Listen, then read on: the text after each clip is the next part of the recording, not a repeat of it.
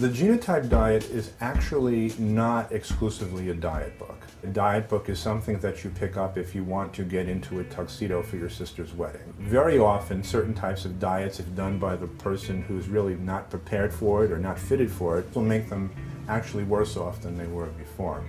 One of the things I had always been, you know, struggling with is the idea that we have a series of diets that essentially try to give the same solution to everybody. One size fits all diet is called.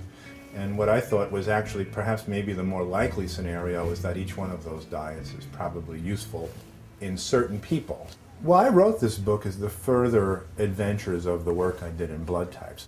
What we're understanding now is that gene function is constantly changing. From the moment you're born to the moment you die, your body's constantly interacting with the environment. And that environment is constantly turning different genes on and off based upon how the environmental conditions change.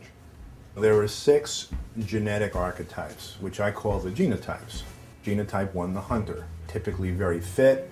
They're generally very long and lean. They don't do well on a lot of the vegetable proteins, which can make their digestive tract get irritated.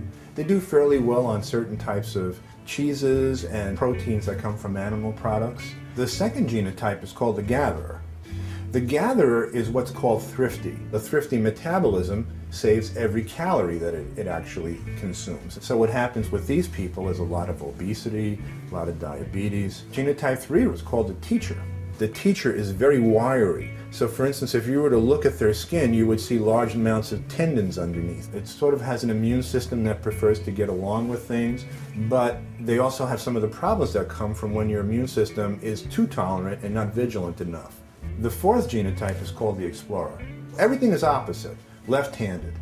They often tend to be Rh negative.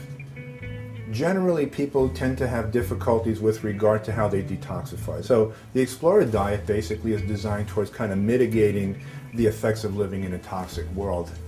The fifth genotype is called the warrior. Tall people uh, prone towards cardiovascular problems, maybe above all. So the strategy with the warrior is to control the inflammation of the cardiovascular system and enhance the metabolism so that in later life these people don't become increasingly pear-shaped. The last genotype is the nomad.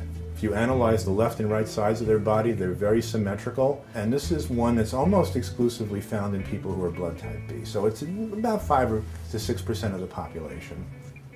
There's a lot of statistics involved in this stuff. There's a lot of genetics involved in this stuff, and it's fascinating. But as a reader of the book, you only have to know certain things. For instance, is this finger longer than this finger?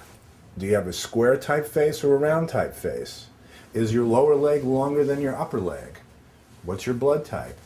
All you need to do is take some very simple facts and use those facts in a very simple deductive way, and out comes your genotype.